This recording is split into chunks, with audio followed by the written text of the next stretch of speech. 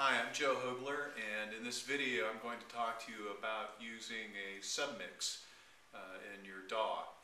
Uh, specifically, I'm going to be talking about setting up a drum, uh, a drum submix in Sonar X2 Producer. I'll talk about the signal flow, and I'll also explain a little bit about how the, uh, the submix might be used by a producer. Okay, so here we are now in Sonar X2 Producer, and as you can see, I have uh, five individual tracks for the elements of a drum kit. These are uh, audio tracks that I've uh, converted from MIDI that I uh, entered using the uh, Sonar step sequencer and session drummer.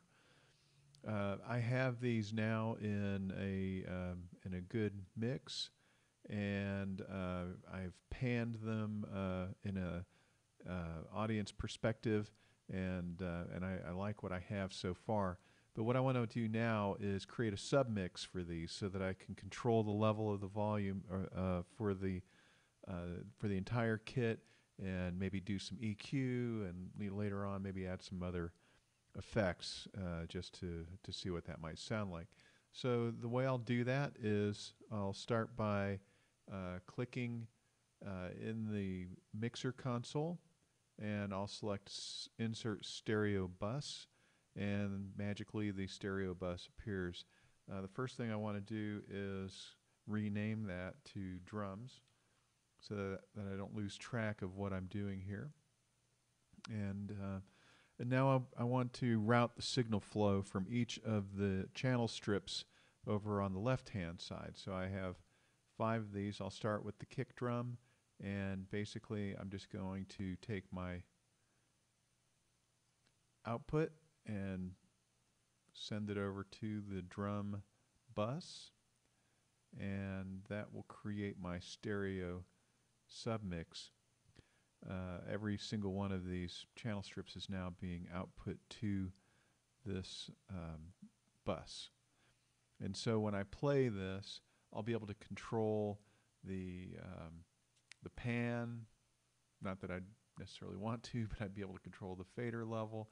I'd also be able to add, for example, EQ, and I'll just do that uh, quickly.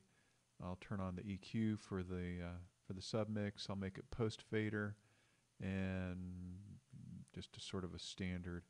Get rid of the low end rumble on the kick, and maybe uh, get the uh, the cymbals to sizzle a little bit. And, uh, and then when I play that back, uh, I should get a pretty decent sound.